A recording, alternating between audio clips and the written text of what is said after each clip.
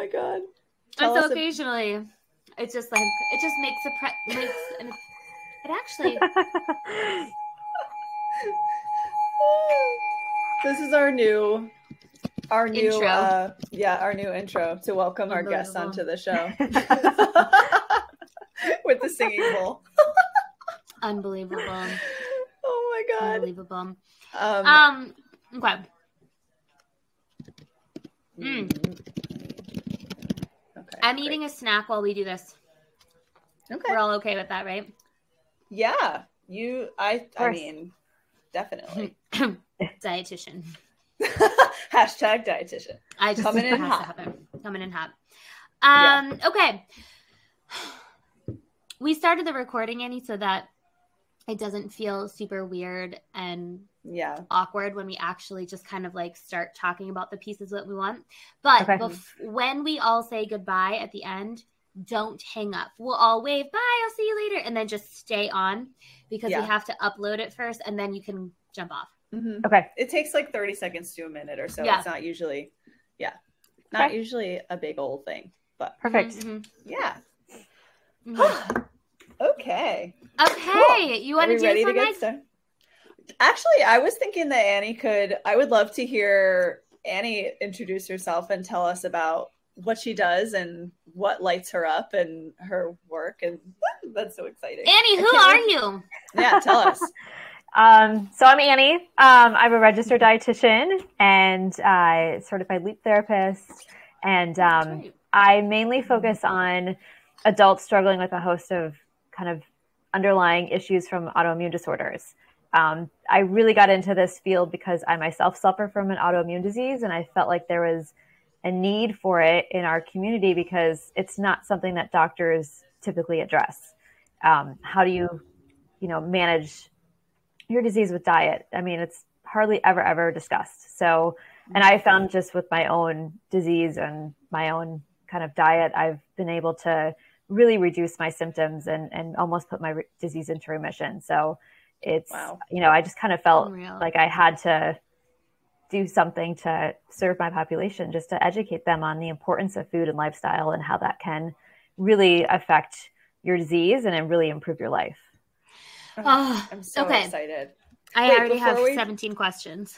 Before we dive into questions, we gotta. We haven't asked this question in a while. That's Annie. true. I know where you're going. What are you drinking today? What are you drinking right now? I'm drinking water. Nice. Perfect. so boring. Good. No, it's not boring. It's vital. We know this, right? So Annie's drinking water. Kylie, what are you drinking? What do you have going on over there? Water. You're you're wow. Good for you guys. It's the most boring. I don't have coffee. I, nothing. You know why? Because I- I got snacks today. Uh yes, okay. Wow. So tell us what you're eating. What are you eating? What are you munching on? I'm eating pistachios. and Nice. Oh, I love pistachios. This pistachios. is raw grass-fed cheddar cheese. All the things. It's Mm. so good with pistachios. Mm. I'm trying not to eat the pistachios because it's crunching in your ear, but We're a big pistachio family. We fucking love pistachios. My favorite nut of all the nuts. Oh, Me too. Yes. macadamia nuts. I love a macadamia Mm. nut. Kylie, when you come visit me, we'll have to take you to the coffee shop that makes the macadamia nut milk lattes. Mm. Um, I appreciate the use of when I come, not if I come. Thank you. yeah, no, because it's it's a when. It's when. I mean, It's a when. just It's a when. It's just a when at this point. exactly. Thank you. What are you drinking, Meg?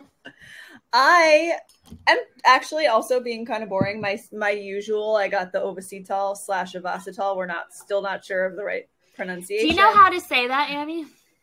Uh, inositol. Yeah, it's inositol, right? Inositol is the the thing that's in the supplement, but the actual supplement name, I don't know if it's Ovasitol or Avacetol. I don't Oh. know. I've heard it both know. ways. anyway, I didn't even know what it was, to be honest with you. So I just know Meg drinks it in the morning, and it's Every morning her day. time. Yep, every day, morning and night too. I put it in my water. So we got Oh. that. We got some ginseng tea. We got some green tea in here. All in this is all in one thing. And then I'm experimenting with um, bromelain as a Oh, Hmm. as an Digestive? anti not not as a digestive as an anti-inflammatory i found like a few baby studies that show that bromelain might help with inflammation, specifically in the nasal passages. Not taken as a digestive enzyme though, so I have to be Oh careful. not- wow. Yeah, I have to be careful to have it in between meals, not when I'm eating. Otherwise, it'll do the digestive function. Digesting. Oh, that's Yeah. so fascinating. Yeah, so I have really bad sinus issues like constantly, and then when I got COVID, it just ugh, like threw Mm. me totally upside down. So now I'm like, all right, we have to fix this. so That's we're experimenting. I'll report Okay. back. Let you Yeah. know how it goes. That's right. In six months, tell us how that Yeah. nose feels. I will. I will. so anyway, that's what we're drinking over here today. So That's not boring. That sounds delicious. I I mean, it's boring for me because I have this literal drink Every every, single day. Yeah. every time we record this podcast, I'm like, I got my tea and my avocado. so it's new team player with bromelain today. You're really killing it now, Meg. Really I killing it. I am. Yeah. Um, anyway, proceed with okay. the 17 questions. Let's start. Annie. I can't wait. let's start. Can you tell us what is an autoimmune disease? So, what is it in your body? What is happening? And and maybe what are some names of common autoimmune diseases that people will recognize and maybe not know? Oh, I didn't know that was an autoimmune disease. Yeah, so there's over like a hundred autoimmune diseases, which is crazy. and. Crazy. more and more keep coming. you know they, they're now associating all these like neurological like parkinson's and alzheimer's they are starting to think that those even have an autoimmune component too so Mm. basically what it is is your body decides to attack itself so you have your immune system which is desi- is really designed to kind of protect you from the outside world so like Mhm. anything that you ingest or you breathe in like viruses bacteria um, anything that your body deems as foreign your immune cells will attack it and then create antibodies against those so you don't have the same reaction again. And so your body can con- continually protect itself. What happens with autoimmune disease is that your you develop um, antibodies against your own tissues. And Mhm. you know depending on the autoimmune disease it can be you know it can be tissues of certain organs. It could be like more broad tissues like joints and um, Mm. you know muscles so it, it kind of it depends on which which disease you have but essentially your body is recognizing your own cells as foreign and so they attack it so most people are dealing with just like chronic underlying inflammation from Mm. these autoimmune diseases and that's what causes a lot of the kind of annoying symptoms that come with it like fatigue and Mm. um, joint pain and muscle aches and headaches Mm. things like that And so why might someone's body start making auto I mean antibodies against itself? What are some reasons why that might happen? Cuz what what was funny for me is I I held in my laugh because when you said when you said that piece the first thing that came to my mind was whoops like why why would it do that? Exactly. so i mean there's yeah i mean there's there's Yeah. Some you know a lot of people had thought believe that it was a genetic disposition and for a lot of cases it, there is some genetic component to it but there's usually something that triggers it so Yeah. it could be um, the environment like too many chemicals um, Mm. too much just inflammation in general um, it could be the food that you eat that your body's like reacting to so a lot of times it's um, something kind of puts your body over the edge Mm-hmm. and it just starts there's so much going on that your immune system almost gets overwhelmed and confused and then starts creating these antibodies against it. Now it's really interesting in that there's a lot of like totally healthy people that also have antibody like autoantibodies um, but mm-hmm. they they just don't have the kind of disease symptoms or they don't have a disease because it's not active. So mm. Interesting. It's so interesting that you said that because what comes to mind for me too is is um, there's some research lately suggesting that something like acne has an autoimmune pathology or partly Really? so yeah because the immune receptors on your skin are overreacting to a clogged Mhm. pore they're like Mhm. inappropriately responding with inflammation and sending the white blood cells which is the pus that you see in a oh, pimple that's so it's so so that would to me that's the example that comes to mind about what you were saying annie about somebody who's not necessarily struggling with like your typical autoimmune not you we don't think as of acne as like your body attacking itself but that's kind of an example that came up for me about autoimmune like sliding under the radar kind of i think is what I was, what you were saying yeah Yeah, I mean, it takes a lot of time for autoimmune diseases to develop too. Like a lot of Mhm. people, it you may have like really kind of vague underlying symptoms for like seven to twelve years before Yeah. it's like a full blown clinical um, disease. My my God. that sounds exhausting Yeah. Mhm. Annie, what's your story? Can you tell us what like what what is your autoimmune story? How did you end up deciding how to help yourself, what you were going to do, and thank God you had the tools to do it. Mm. And Mhm. then kind of let that lead you into what you do and how you how you help your people.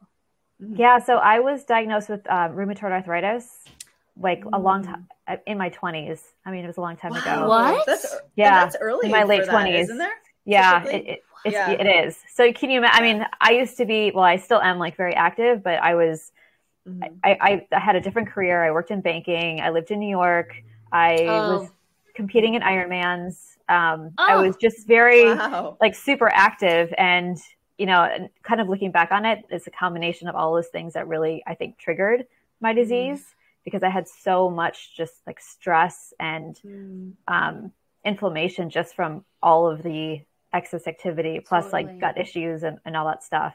Mhm. Um, so I didn't even know about diet when I was first diagnosed. And even though diet, you know, nutrition was something I've always been interested in, you know, and I asked my doctor, like, what can I do? And she was like, you know, nothing, like nothing will really help.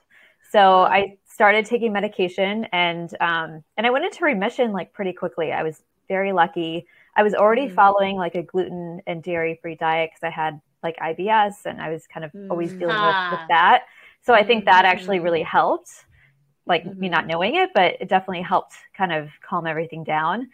Um, Mm. and then, like, fast forward to me having kids, my disease came back. So I totally flared after both of my kids were born, um, which is common because, you know, with rheumatoid arthritis, especially, there's a couple of diseases that are um, affected by estrogen levels. Ah. So, Mm. with like things like rheumatoid arthritis, multiple sclerosis. I think type one, type two diabetes, or type one diabetes also. When you Mhm. have a drop in estrogen, um, you can. It's more like inflammatory for you. wow. So, yeah. Huh. So you, a lot of uh, women. I mean, eighty percent of autoimmune disease patients are women, Mhm. um, and a lot of it does have to do with like hormone regulation. And a lot of Mhm. people, you know, are first diagnosed around the time of either like puberty or pregnancy or menopause because of the hormone wow. fluctuations. Yeah. I'm just curious. Do you know what? Do you know why that is? Like, what is it about the estrogen that can trigger something like that? So it has to do with the um, the balance of your helper T cells. Uh, Mhm. your which are T- immune cells for those of you who don't know. Yeah. yeah, yeah, Mhm. immune cells. So some diseases are like more T1 or T2 dominant, Mhm. and so the diseases that are um, I can't remember which is which, but whichever one is like more like T1 dominant, I think Mhm. estrogen is more protective, or if it's like T2 dominant, Oh. estrogen is is is more like harmful.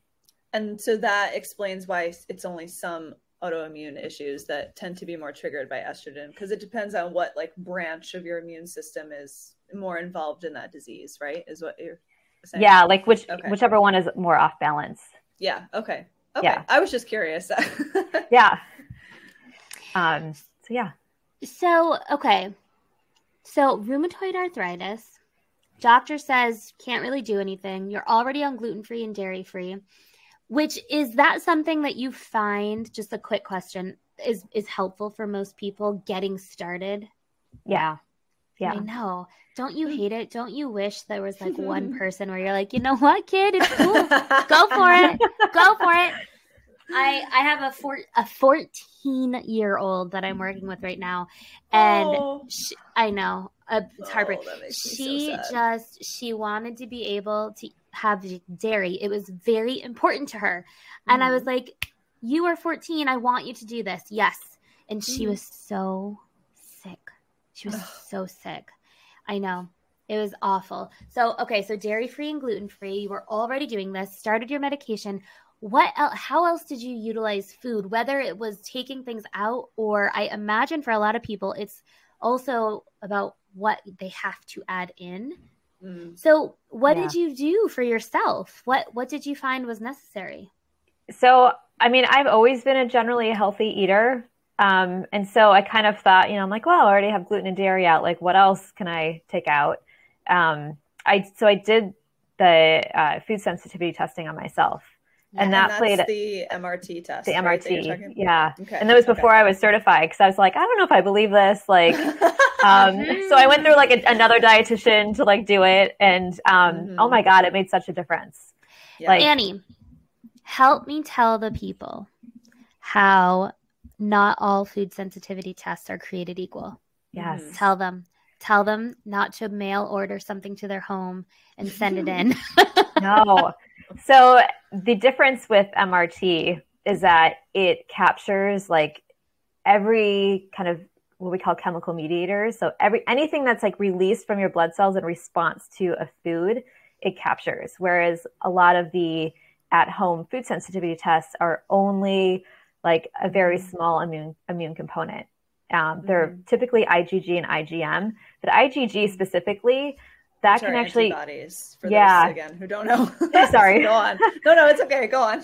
yeah. So IgG antibodies can actually be elevated in foods that you commonly eat.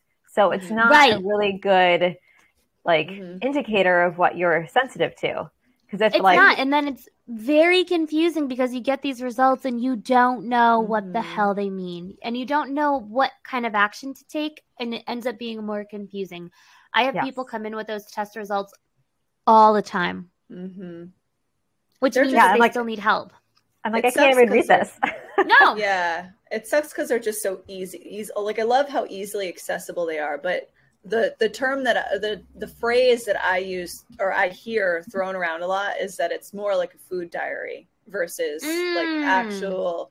I that's not my phrase. I stole it. But I don't know who from, but I that's a, and I feel like that's kind of the case with those mail order I think, tests. I think that's good. Yeah.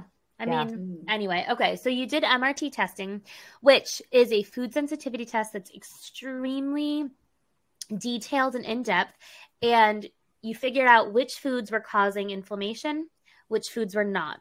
You took out the foods that were causing inflammation and instead focused on the ones that were not. Am I, I got that right so far? Yeah. Yeah. Yeah. And so, you know, I followed that diet for, I mean, I still avoid a bunch of foods that I'm reactive to, but it really just helped kind of pinpoint like what what might be causing it. And it was random things for me, like maple syrup was like a, mm-hmm. a highly reactive one. Um, yeast was one. Mm-hmm. Uh, I can't remember what else. Cucumber, peach, like some random foods. Which I you know. Wanna... Sorry, go ahead. Sorry, finish. no, no, I was. I mean, most like most elimination diets include those foods. So even if yeah. you do like a standard elimination diet, like you still might not feel great because like maple mm-hmm. syrup is in like you know everything. Yeah, yeah, yeah, yeah. So here's a little plug, you guys. If you are struggling, whether it's with an autoimmune disease, any sort of inflammatory disease, which there's basically the same, or mm. gut things, and you think that you've been on some sort of really great elimination diet, please know that it's not always dairy, soy, and gluten. It can be mm-hmm. something as benign as cucumbers. And and and it's not and Annie I think is going to get into this. It's not like you can't ever have these things again once you take them out. Mm-hmm. But I, I think what Annie is showing us is that in order to have an opportunity for your body to heal and the inflammation to come down, it needs the space to do it right? Yeah. Is this what you found when you did this? Yeah, because I mean, I add back in things. You know, I have cucumber every once in a while. Mm-hmm. Tomatoes bother me, but you know, in small mm-hmm. quantities, I can eat them. I mean, mm-hmm. gluten and dairy, I don't ever eat because those are just huge triggers for mm-hmm. me. Like I feel awful for like a week if I have them. Mm-hmm. But mm-hmm. yeah, I mean, it's you know, people are always so afraid, like, oh, I can't ever have like coffee again or you know, chocolate. And I'm like, you can in small quantities once your body like heals you need to like give it space to heal, right?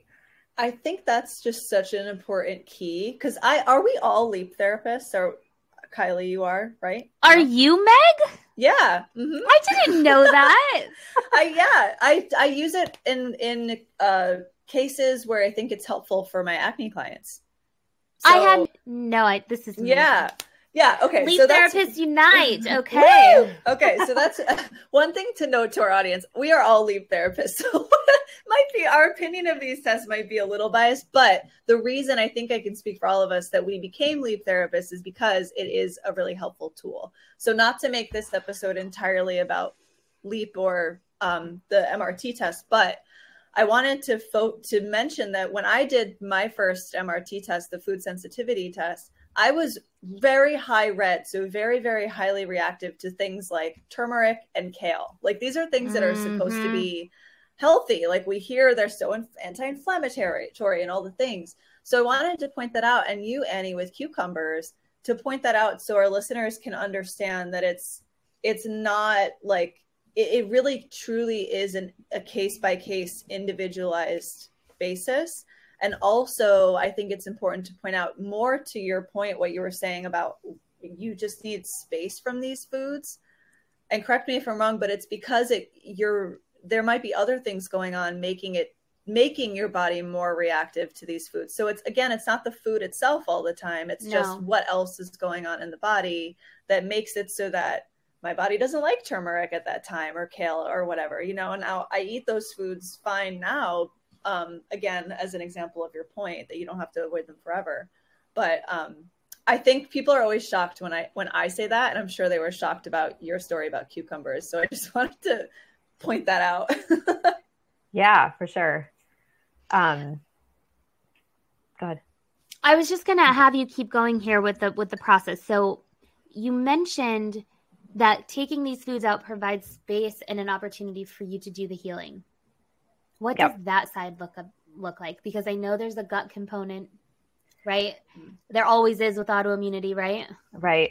Yeah. So, so for me, for me, I um once I kind of figured out the food stuff, I became a lot more curious and started digging more into you know what are root causes of autoimmune diseases how are they how do they how are they triggered because i knew it wasn't just food it had to have been something else so i started um, working with a functional medicine practitioner to do a bunch of testing to find out that I have, you know, a parasite and mm-hmm. mold toxicity and heavy metal toxicity and dysbiosis and all wow. this other stuff mm-hmm. going on, candida. I mean, I have like so much going on. So, you know, food definitely helped me for sure. I feel like a thousand times better, but now I'm like in the process of dealing with everything else to kind of mm.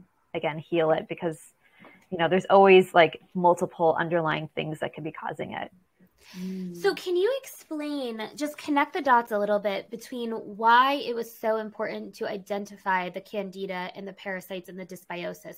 Why do those things and identifying them and healing them even matter? Because it might seem like they're so disconnected but when we're talking about autoimmunity explain why that stuff is so important.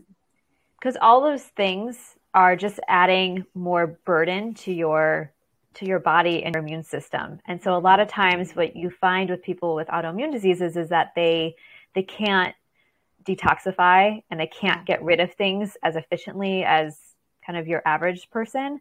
So because they have all these other compounding issues going on that your body is fighting. So, you know, mm-hmm. anytime you have a parasite your body is actively fighting that. and anytime you have like a yeast overgrowth, like you're constantly kind of you're just your immune system is like on attack all the time and so you're mm. never going to really be able to heal and calm down your immune system to the point where it's not attacking your body anymore until you get all of that stuff out mm-hmm. and like cleared out of your system okay okay so in other words there are a ton of different things, or I will speak to your story. There were a lot of reasons why your immune system was in overdrive, and mm-hmm. then almost accidentally kind of tagging your own body tissue as part of the problem, tagging these foods that you were eating while you were sick, really, as mm-hmm. part of the problem. So all this stuff gets wrapped up into these underlying issues that take, to your point, years to identify. Mm.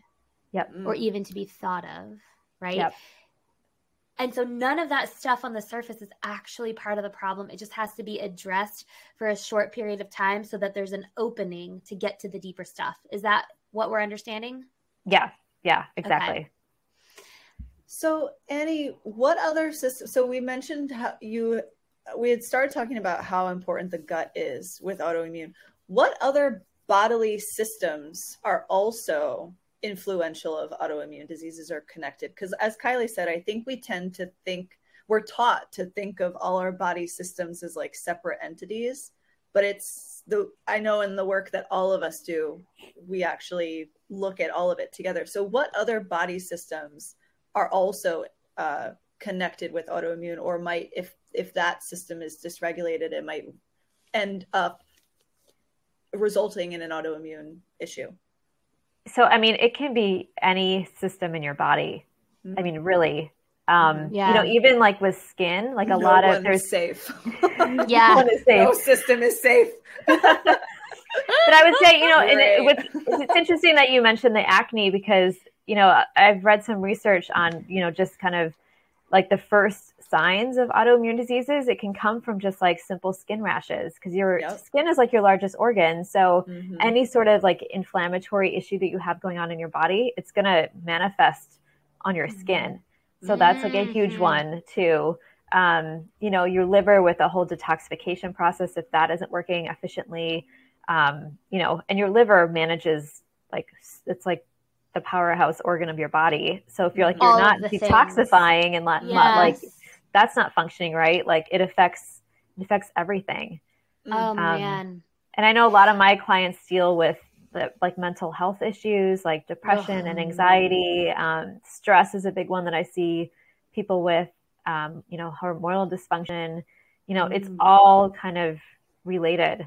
So really, like any body parts Any or organ system. can affect it. Yeah. Yeah. Okay. So it, I'm hearing that autoimmunity, I think we think of it as like, or at least I talk in talking with clients and in conversation, it's, it sounds like it's used in a way of like it's its own separate thing, but really it's an imbalance of any, as a result of any of the bodily systems is what I'm hearing. Is that right? Yeah. Okay. And what's interesting too is that depending on like what how your disease manifests, you see a different doctor. So, right. which I think is so um it's a great point. Fragmented. You know, it's you have so like fragmented. You have like your GI, like Crohn's and colitis for like GI, and then you have like thyroid for endocrine and and you know mm-hmm. diabetes, and then you have like your rheumatologist, which deals with the whole umbrella of things. But mm. it's not like it's not connected well. Mm. Well said. It is not yeah. connected well. What you really need, ironically, is actually somebody like you who takes a look at autoimmunity. All like the the actual name of the disease is less important.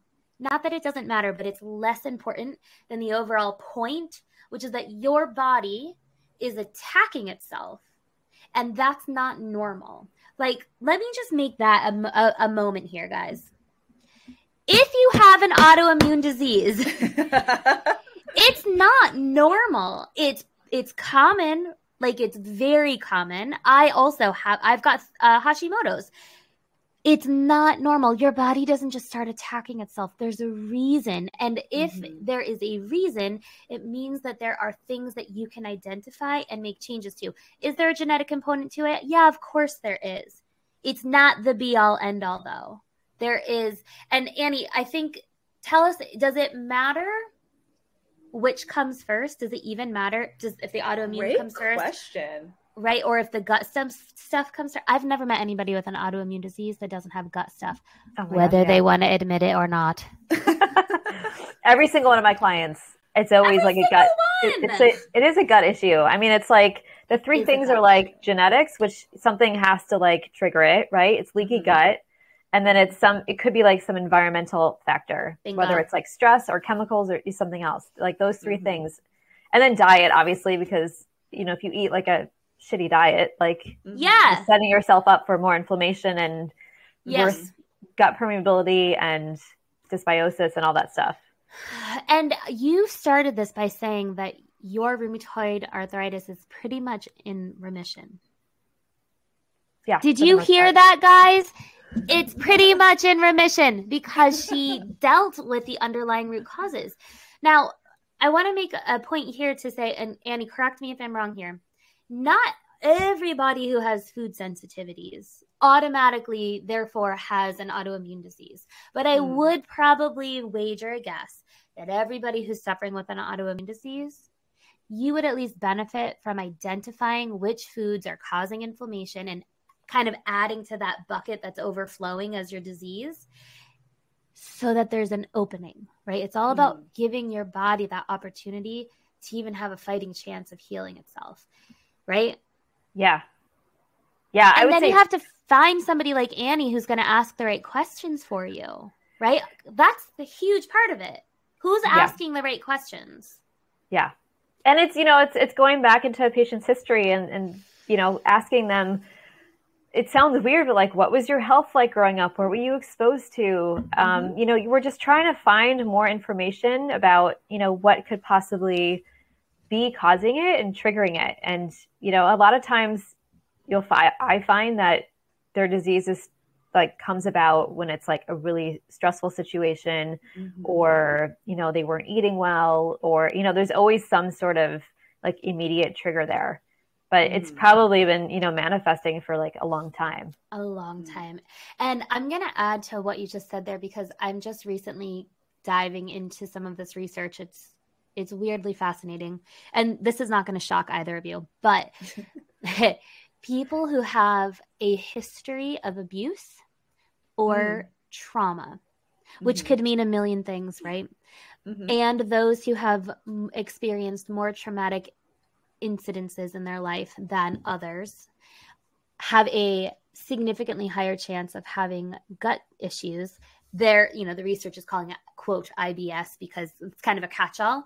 Mm-hmm. um, and and so when and we just said when you have gut issues it doesn't matter which came first it immediately opens up a bigger window to the possibility of autoimmunity. So know that about yourselves too if you are listening to this and you've been not feeling well and maybe getting the runaround and maybe feeling like people aren't digging or not really asking the right questions, and you are seeing yourself in this, in Annie's story, mm. find somebody who you can ask these questions to. Reach out to Annie. She is going to tell us in a minute about an incredible opportunity, actually, that is coming out soon for you. I think tomorrow, right? Next week. Yeah. Yeah, right. yeah. tomorrow. Tomorrow. tomorrow, by the time this episode plays. when this episode is aired, it'll be tomorrow. So. I like winked at her. It's like tomorrow, right? like, huh?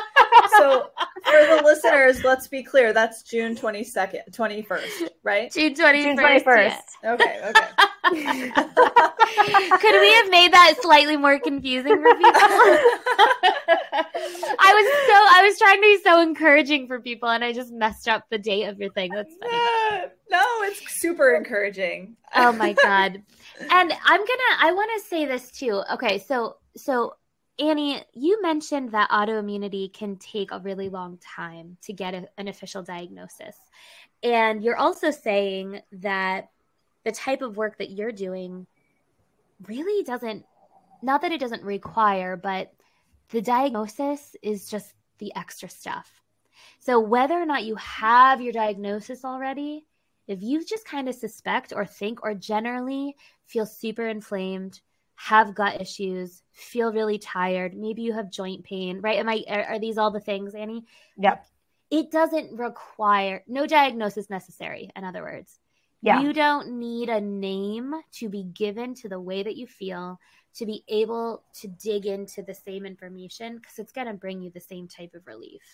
Yeah. Mm. It's and incredible. I've, and I've worked with like a number of different autoimmune diseases and you know, not that I follow the same thing with everyone, but it's the same general advice. And you know, sure a few diseases here and there has specific needs, but in general, like you can definitely fix a lot of things just by changing your diet and working on lifestyle factors like sleep and stress. And you know mm-hmm. if you have any underlying emotional issues like those definitely need to be addressed. Yes they so, do Say that one again. Say that last one again.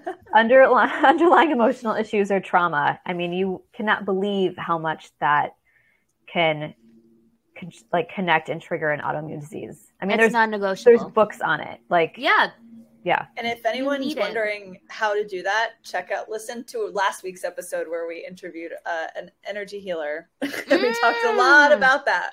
But um, so Annie, Whoa. Yeah, can you? Is there any little nuggets? Um, like, can you expand on that a little bit about if someone's listening to this and they're kind of feeling overwhelmed and are just kind of like, I don't know if I have an autoimmune, or we we we noticed or we talked about how you don't necessarily have to know, but like, what is the persona of the person who should be listening to this episode, who should be taking action, and then can you take us through what the first couple of steps of those actions should look like for that person? Is that a really Yeah. tough question? Sorry. No, I mean not at all. I mean, I'm just. I'm trying to think back to when like before I was before I was diagnosed. I mean, I definitely had some you know weird joint pain going on, but I kind of dismissed it as like sports related. Um, Mm. you know, fatigue was like through the roof. Like I could barely get out of bed. Um, you know, digestive issues up the Mhm. wazoo. I mean, Mhm. you know, if you feel off and you feel like something is not quite right, Mhm. you know, and your doctor and everything checks out as normal, then that's kind of when you should maybe consider Bingo. making some Yeah. changes. Mhm. Yeah. It Because sounds you like- can yeah, I mean, you can you can stop an autoimmune disease from actually like coming to fruition. Like Wow. if you do enough, if you knew, do enough, kind of before it's like a full blown autoimmune disease, you can Mhm. actually prevent it from really, you know, becoming one, which would save really a lot of time and effort. Yeah. It sounds like there's, it's like if you're a person who's got a lot of symptoms going on that you can't really attribute to anything in particular, but it's a lot of them and they all don't seem related and you're having trouble putting it together. That that's what I'm hearing sounds like the person who should be listening to this episode. Is is that right? Yeah, exactly. Okay. I'm gonna say too, don't don't forget about the neurological components. I know in the years leading up to finally getting some sort of diagnosis for me, there were these, I, I like seven or eight years of these weird episodes where Mm. I would just start shaking and I couldn't speak and I couldn't talk properly. It was awful. It, it, I cut out gluten and it all went away. All so, went so away. wild. So It's wild. And that was and an example for you of where you had these Yes. things going on could nobody it from your from i think from what i remember what you said nobody could really put a name on it or identify why it was happening everything came back fine but then you eliminated gluten and poof Yeah, and listen, like that's not going to be everybody's story, but Right. the the point here is that I know that you guys are seeing yourselves in these examples. I know you Mhm. are. We have all felt that like, wow, why do I feel insane? Why do I feel like a crazy person? And why can no one help me? What Mhm. is the answer? And it just may be that you're in that weird in between place with the measurables aren't measurable yet but it doesn't mean that you're not such a good feeling like shit yet. I mean, I and, and you Mm. also just might not be getting the right labs. Annie, how often do people miss Hashimoto's because they don't get the right labs Oh my gosh. All the time. Mhm. All the time. Can can you tell us are are there sp- and I mean I know this is a hard question because there's a whole plethora of different diseases but like if you had to prioritize the most important set of labs to for someone who might be struggling with a variety of issues are there specific labs that come to mind that you are just kind of like no we must get these done i will fight with your doctor like That's a great question. That's a good question. I think like just the general inflammatory markers are always really helpful, like your sedimentation rate, your CRP. Um, Mhm. Those can just point to, you know, underlying inflammation in general going on in your body, and that can be like an easy thing to address. And I mean, again, it also depends on your symptoms, but I, you know, I always say like get a Mhm. full thyroid panel if you're feeling fatigued, um, because that can be totally attributed to hypothyroidism. And can Um, you tell Uh, us? We went through. We had an episode that we brought an expert on talking about thyroid and adrenals, but I want us, you to tell us again what is a full thyroid panel for you? What markers are those so that people know? Yeah, I mean, you definitely want to check like your T T3, T4, your TPO to see if there's any antibodies there. Mm-hmm. Um, your, uh, I'm, I know I'm missing one. Your T. can't think what else. Right. Yeah. Reverse T3 probably. Yes. Mhm. There's. I always uh, forget one or two. Also, Annie. is You guys the- can listen to Lacey's episode on this. right for Lacey full- Dunn wrote a book. Mhm. She like the whole shebang. So all that information is there. So full. Oh, I had another follow up question about the inflammatory markers. Do you personally prefer an HS, which is high sensitivity CRP, versus a CRP, or does it not matter to you?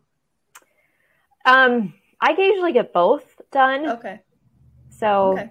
you know, I say like most conventional doctors will just do the CRP. That's More why fun- I asked. Yeah. Yeah, more Mhm. functional doctors would do that, the high sensitivity, the HS CRP, Mhm. um, because that just looks for like it, it's a little bit more. Well, the name it's more sensitive, Right. so Yeah.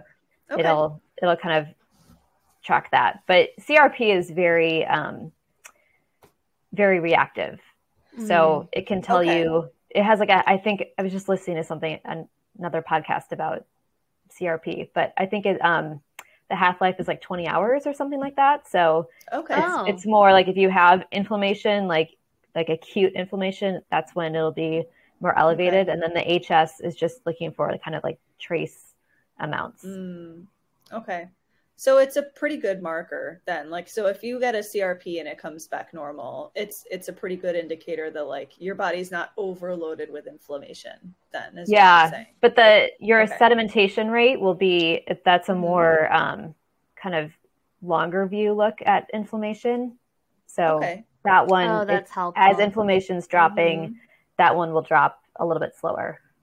Oh, okay, okay, okay. Okay. So for for people who are like, shit, I think this is me. I think that maybe this is me. What are some of the things that they might be able to actually go home and do today? Because we've talked about a food component, Mhm. we've talked about inflammation, we've talked about the gut. So everybody's going to feel a little bit more or less comfortable addressing some of those different areas. So let's just start, for example, with the gut. What are some things that they could do on their own that might just maybe it'll help? Now, obviously, the testing is going to be the biggest key. It'll be a blueprint. It'll help you focus your energy, focus your your efforts. But if that's not on the table for people, or they're just not ready to do that on their own, what can what can they do? I mean, honestly, I think the biggest like low, low hanging fruit is just cutting out processed foods Yes. because Mm. that will then cut Mhm. out, you know, added sugars, salt, preservatives, chemicals, all of that stuff. That will make a huge difference Great. um, And right can off the you bat. explain can you explain to us what do you mean by processed foods? Because I think Mm. I I wish we had a better Yeah. definition for it because I think it's just so people hear it and they're like, It's such Oh, a but, like, buzzword. it is a buzzword and like sometimes Yeah. like hummus is processed for example if you Right. think about it That you know true. so like what what are people what are you talking about when you say cut out processed foods So I like to think of processed foods as anything that has more than like five or six ingredients and they have Mm. ingredients that you can't pronounce. Okay. or they're ingredients that aren't food. So Mm. all of your different like chemicals, food colorings, like those aren't really food; those are chemicals. Mhm. Um, That's like the best definition we've got of that, Meg. yeah That i know really I'm. I'm delighted yeah, that's great. I like that. So switch your if you're a label reader, switch it from the numbers to the words. What Yeah. are you actually putting in your Mhm. body? Okay. yeah, Now, can I just ask really quickly, what do you what about what do you tell people about vitamins too? Because I mean, normally when I see it on a food label, it'll say it'll have like the big fancy words that you and I know for vitamins, but and then in the parentheses it'll just say like vitamin D, B6. vitamin B12. Right. So like you know it's a vitamin, but I have you seen because I've gotten questions about that before too about like, well, what about the vitamins? Do they I don't know if you know this, but is it do they always have that it's a vitamin in parentheses so that like I wouldn't want someone to read um cholecalciferol and be like, "Oh, I don't know what that is," you know, right. but it's vitamin because D. you wouldn't. right. a lot of times, a lot of times when I see like the vitamins on there, it just it tells me that it's the food was like devoid of it, and they're just adding it Yeah. back in to make it Right. better. Mhm. So yeah. yeah, I don't know. Okay. Okay. I was just curious because I know maybe some people who are listening are like, that might have been a question. So, anyway, thank you for clearing that up. The vitamins are okay, but anything else you Mhm. don't know, that's that's a that is an indicator of something that's processed. Yeah. Okay. Yeah, and then you know the other two big ones that I think really make a difference for people are gluten and and dairy. Unfortunately, Mhm. So- Mhm. and I always say get te- get like tested for celiac disease before you pull gluten out because you just always want to make sure that you Mhm. um you're negative, or I guess if you're positive, then that's obvious. But um, yeah. And Yeah, why is that careful that- important before you pull it out?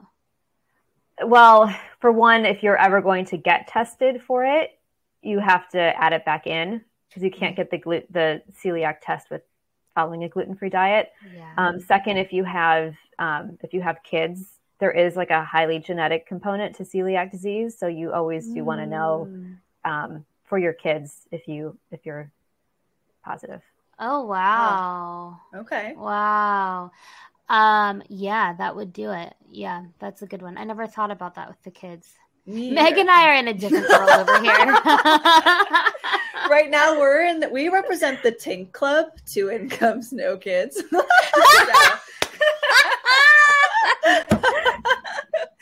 I've never heard of that before. I love Really? that. I can't decide whether I prefer Tink or Dink. There's also double income, no kids. That's terrible and so much better. oh my god. That is so funny. I love it. That's really great. Yeah. Um, Okay. So so processed foods, gluten and dairy free. How long do you recommend they people experiment with the gluten and free, uh, sorry, gluten and dairy free diet? Like, how long do they need to? As Kylie pointed out in a previous episode, you have to hundred percent commit to it. Yeah, So I say at a say? minimum for thirty days. okay, Yeah. And then, you know, if if you're still not feeling better, then you can maybe try pulling more things out because Mm, some people react to like grains and mm, nuts and seeds and coffee and you know a whole host of other things. But mm. um, yeah, I think 30 days you usually most people feel better within like 10 days, to be honest. okay. And what what are some things that they can be thinking about either removing or adding in, whether it's food or supplements, whatever it is that you think, to help focus on gut health? I mean, everything that you just said is part of that.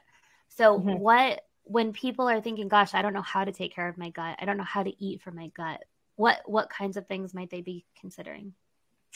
Yeah, I always, you know, encourage people to eat fiber. So like Mm, yeah. from your fruits and vegetables because that Mhm. just feeds your gut microbiome and there's so much research that really shows that you can improve and change your gut microbiome composition just by your diet, which is Mhm. which is awesome, right? Because It's it's, a really easy fix by So just adding in more fiber. Oh, Um, so so I would say fiber. Um, I always love bone broth just to help with Yeah. like the intestinal permeability aspect I of have a question healing. about bone broth. Are you uh, because um, what would you say if I'm confused by it? So I'm asking for myself, but I'm sure there's other people who are who are confused by this. What would you say to someone who's just totally confused by like the quality of bone broth that we're supposed to be drinking? You know, like are we supposed to be making it ourselves, or is there brands that we can buy that are better than others? Like, I'm confused. Help me. Send help. Yeah, I always say, you know, with anything, I aim for like organic and grass fed just because it reduces your chemical and toxic load on your body. So Okay. I know the one brand that I use a lot is um, Roli Roti. Oh, I really Oh. like their I haven't heard of that. Can you say it again? Roli Roti. I think that's what it's called. Roli Roti. I'm gonna try to Google Or it so I roti can just see it. I know. Yeah. Let's see. Let's see. 'Cause I it's know a lot of people like kettle and fire too. Yeah. Yeah, That's kind of what I would. I, that's the one I see all the time. I've never tried it before though. Yeah, the- oh. the Roli Roti is um, oh. it's only like bones and like carrot and water. Oh, I mean, that. it's very minimal. Yeah. Ooh, we love that. That's really good. That's really, yeah. really good. Okay, so I'll tell anyone, you what. Yeah, it's L uh, R O L I R O T I, right? Mm-hmm. Roli Roti. Okay, yeah, cool. Found it. We love it. Okay, so those are two good brands. Thank you very much. That's great. Yeah, making your own though, it is. You just like put it in the thing and then you leave it there. It's yeah. the most minimal thing. It takes a while, but it, you don't. You're not doing anything right? Yeah, if you if you yeah. have a crock pot or an instant pot or something, right? That yes. makes it, can can you do it in a regular pot too, like a big mm-hmm. saucepan, mm-hmm. or it has to be a that. oh okay. Cool. Just, That's good. Yeah, I, I just I get nervous about leaving something on the stove top for like that long. I don't know about it. I do too. I've done it though. I've done it. I think I've grown up with my father's leaving sauce bubbling slowly all day long. It's an all day affair. Don't think about it. I For those of you who are not Italian, you need to know that it's sauce day. That's what happens. An entire affair. Lily, last time I was home, it was a Sunday, and I said to my dad, I was like, "Oh, what are you making sauce for?" And he looked at me and he goes, "Sunday." I was like, yeah, but what are you making it for? And he looked at me and he was like, what do you mean? It's Sunday. I was like, I understand. Please continue. Can you save me some? I'd like to go home with some. but that's also already factored into the equation. He's already figured yes. out how much he needs to make to send all of you home with months worth of frozen bags. One hundred percent. And he now he now really prides himself on getting gluten free pasta as well. And he'll oh. say because my mom is also gluten free now. She's very good about it. And he'll also mm. say, hmm. Oh, look, I think I've said this before. When I needed it, it was like he couldn't remember for the life of him and it didn't matter. But now that my mother is, he'll go, Look what I found for mommy. It's gluten free. It's, it's always mommy, by the way. Look what I found for mommy. It's gluten free. Can you eat this too? As if it's like this brand new idea that I mm. didn't teach them. Papa Steve coming in clutch with the gluten free pasta. Papa Steve, every single time he has a snack. Do you see? It's gluten free. Do you see right here? It says it. You can have this. Here, have a bite. I'm sorry that your the uh, the due acknowledgement wasn't. It's not. It's so given. funny. it's so sweet. He is so in love with my mother. It doesn't even matter. I don't even care. Aww. I can't. I can't. How could you care? He's so Aww. sweet. Know. Anyway, okay. okay. Not to get on and on about the gluten free piece, but I think maybe this is a nice a nice little um a nice time to say it isn't as if everybody needs to be gluten free. I know everybody says that, oh, it's a thing mm-hmm. and now it's popular and I don't, now everybody has a problem. Well, sometimes, you mm. know, it really is true. Mm-hmm. Try it. You don't have to mm. commit to it for the rest of your life. You could just decide to try it and then mm-hmm. see how you feel. And yeah. that will be your proof. And if you are not still feeling well, then Annie, can you tell us how can people get deeper levels of help through you specifically. How can they find you? What do you have coming up? Because some of you are already here. Some of you are already at this point. I've tried the gluten free, I've tried the dairy free. I am eating four or five different foods and I still don't feel mm. good. I don't, mm-hmm. there's something else going on. First of all, you're right. There's something else going on. So, Annie, tell us about what you've got coming up here and how it can be helpful for people. Yeah, so I have a free webinar coming up, um, or free event. I don't know. I don't like the term webinar. It seems Sounds weird. so clinical, right? I know. Um, it's called Discover Your Root, root Cause, um, How to Heal Your mm. Autoimmune Disease. So, oh my you God, know, guys. part of the, just part of my own journey and in uncovering all of these things that may have triggered my autoimmune disease. It's just, it's important to know them in order to heal. And a lot of times it's not either, you know, well apparent or you may not know of them. And there's a lot of things that you can do to address all of them. So I'll be talking about that on Tuesday, I guess tomorrow, the 21st. Yeah. That's it. Yeah. that tomorrow, the 21st. And where, so we'll put the link to that in the show notes, but, um, sorry, I didn't mean to interrupt you. Keep, keep going. Cause I just wanted, I wanted to point out that that link will be in the show notes. Yes. That was, yes. That awesome. Was yeah. yeah. Yeah. And then you can go to my website. It's annieRubin.com to find out more about me and my services. Um, I do uh, all virtual counseling, so it doesn't matter where you live, you can mm. still work with me. Um, and I do individual and I do uh, group programs as well. I'm actually coming out with the mm. group program our next one launches in uh, July. So, oh, and is so that fun. about autoimmunity? Yes, it's all about autoimmunity. Yeah. Amazing. So I've basically taken like the work that I do one on one with my clients and I've morphed it into a group program. So for people who um, want more of like a community, which I think is is Huge. important and awesome to have, um, that they basically get the same guidance and treatment. It's just in a group. It's so huge. It's so important, you guys, to not if you guys are feeling in any way alone in in whatever journey of healing you're in right now. Mm-hmm know that that is um it's a barrier add that to your list of barriers you yes. cannot move forward when you feel alone it's debilitating so whether you're mm-hmm. working with just one person or you're going to get yourself in a group like she was speaking about doesn't really matter but get yourself support get yourself support mm-hmm. you yeah. can't do it alone you can't be your own person right we all have our own practitioners that do different versions of what, what, the work that we do for us. We can't. We are not our own mm-hmm. people. Mm-hmm. We've tried it. It doesn't work. exactly. and I will say too. I mean, for for so many years, I, you know, I hid my autoimmune disease. I didn't talk about it. People didn't know that I had it because I didn't wow. want to be seen as someone who was mm-hmm. weak and wow. sick. And mm-hmm. it was only until I really kind of started working with my own clients and started focusing on autoimmune disease that I'm like, you know, I need to share my experience and mm-hmm. people need to know because like having that community is just so important. Annie, yeah. why did we not oh talk gosh. about this earlier? That is such a huge piece. There's a big stigma that comes along with it. You're like mm-hmm. one of those people.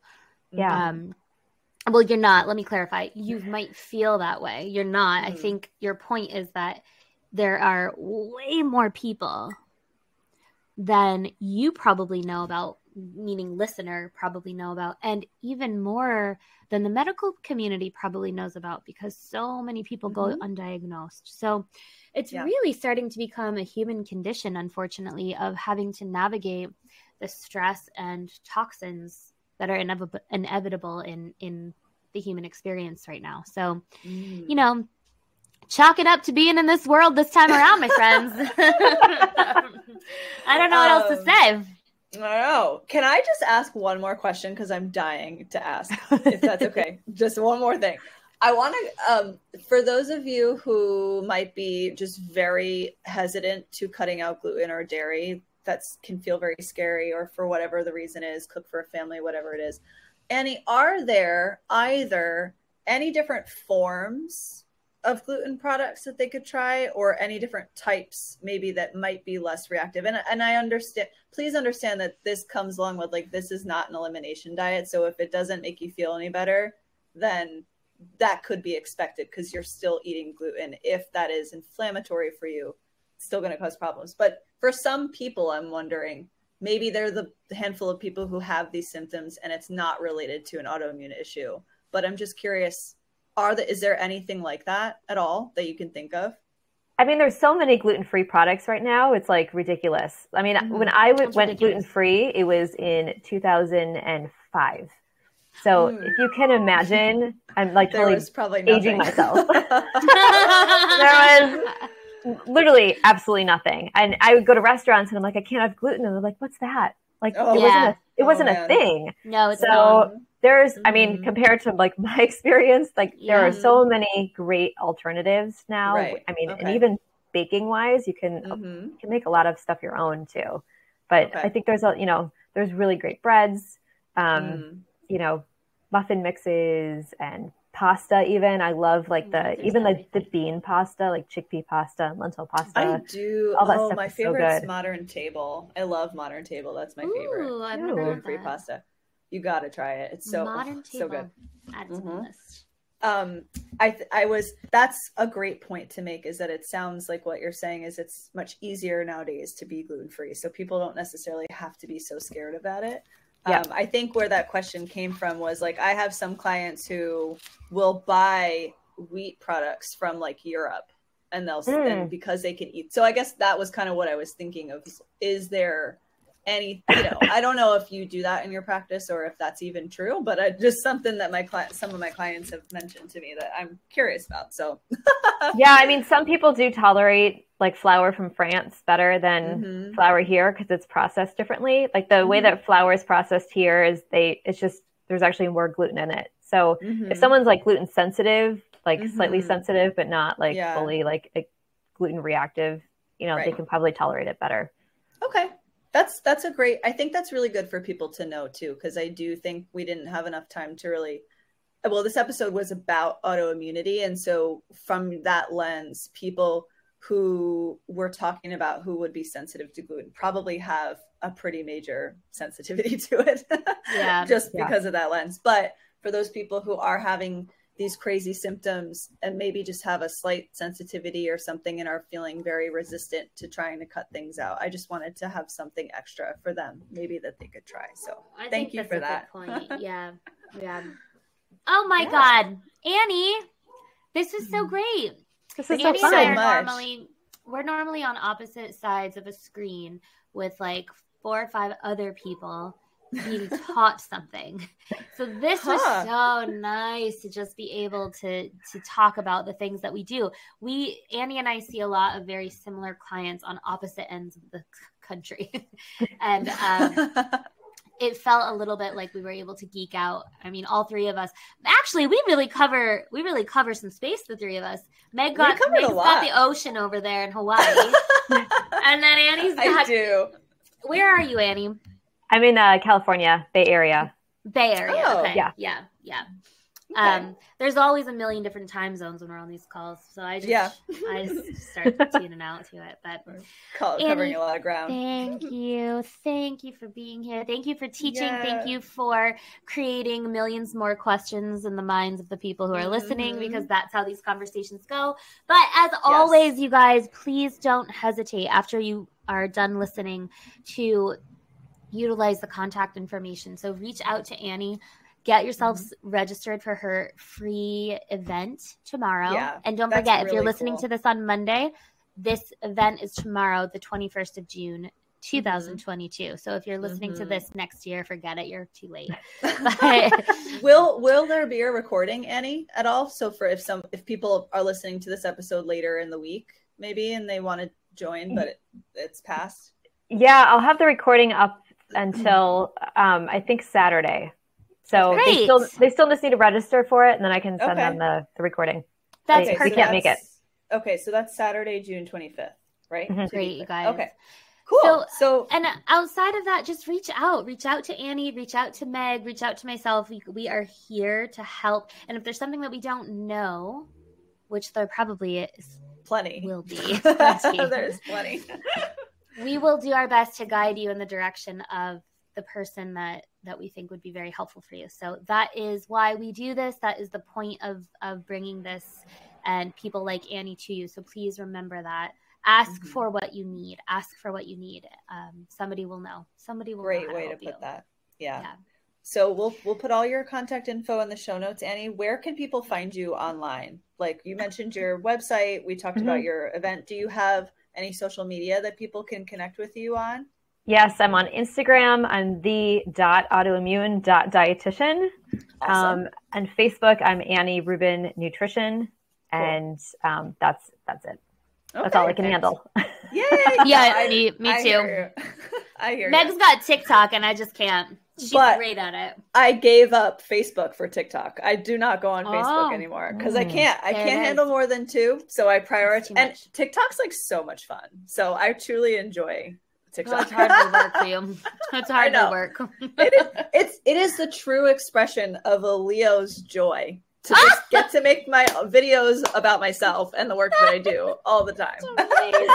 I'm the star of my own show on TikTok. It's great.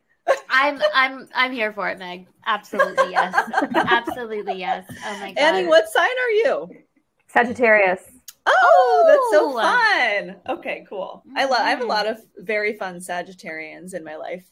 I adore mm-hmm. them. Mm. I love Sagittarians. Mm-hmm. Anyway, thank you so much for chatting with us today. We got through your zodiac sign, we got through all your work that you do. you know the vitals, the vitals. The, yeah, these are these are the need to know things. So thank you so much for spending time with us and um, all the info. As a reminder for those of you listening, if you're feeling a little overwhelmed, I'll have like little takeaways from the episode Mhm. also in the show notes, and how you can connect with Annie will also be in the show notes. So reach out to her, stay tuned, and we'll be back next week. Bye guys. Bye Annie. Bye. Bye. Thank you.